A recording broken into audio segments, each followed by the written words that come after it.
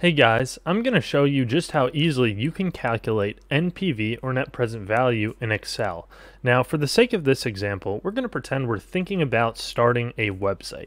And we have estimated that in order to start this website, it would cost us $1 million today approximately. And that's why we put here year zero. But then we expect this project will last about seven years. And we're trying to decide, is this worth uh, funding or should I spend my money on something else? And one thing that's really important with that is the interest rate. So the interest rate will be based on the risk of the project. So if I could invest this money in other assets, what are their interest rates? How risky is this relative to them? And then you'd come up with some sort of interest rate.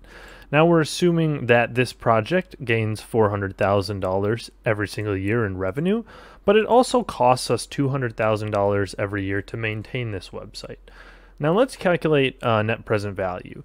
So the simplest way that we can do this is we can just find the value of each of the cash flows, which will be equal to the sum of all of these three columns. So it'll uh, include the initial outflow and then the revenues and costs.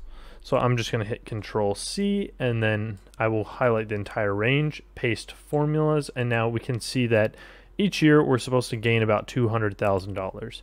Now we can already calculate NPV using the inbuilt Excel formula equals NPV. And then for this rate, uh, we'll just use that 3% that we uh, included at the start of the video or we figured out based on the risk of the project. And then we can just highlight all of these cash flows after year zero.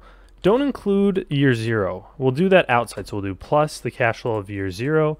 And we're going to see that this project has an expected net present value of $246,000. And because the NPV is positive, we should accept this project. If it's above zero, then we've determined that based on the risk of the project, our return is sufficient.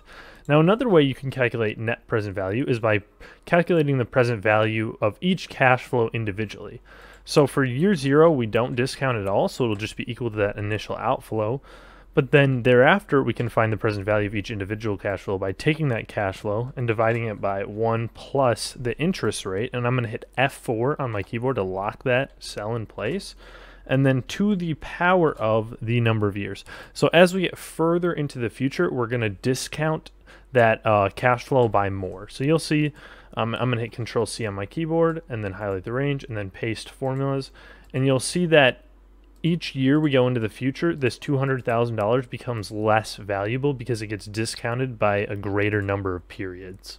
Let's do a slightly more advanced example where instead of using those generic years that we used initially, we actually have the expected dates. So this should be closer to the real world. And we think uh, it's going to cost us $700,000 on 4 1 put that April Fools because this is a fake company, and then we'll gain $300,000 on 831, 2023, and so on and so forth. Now we can determine the NPV using the X NPV formula, and it wants rate first, so we'll select the 3%, and then we'll grab our values, and then we will grab the dates and hit enter. And we can see that the NPV now is a negative 48,000, which means that we should not accept this project because the return is not worth the risk that we're taking. Thank you for watching this video. I hope you enjoyed.